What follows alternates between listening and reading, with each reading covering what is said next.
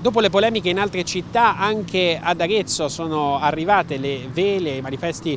che lanciano dei messaggi eh, contro l'aborto, in questo caso è l'associazione Ollus Pro Vita, mamma non ti pentirai di avermi avuto e se proprio non puoi tenermi con te dammi in adozione, fammi vivere, mamma non sei sola, se hai bisogno di aiuto chiama. E c'è eh, un numero, quindi nei giorni in cui si celebra il quarantennale dell'entrata in vigore della legge eh, sull'aborto dopo uno dei più noti eh, referendum e battaglie referendarie dei eh, radicali e quindi c'è un dibattito anche sui troppi, eh, che ci sarebbero troppi medici obiettori, c'è un dibattito eh, sul fatto che alcune parti di questa legge non sarebbero eh, applicate, allo stesso modo però i movimenti pro vita stanno lanciando un messaggio forte e questo forse è anche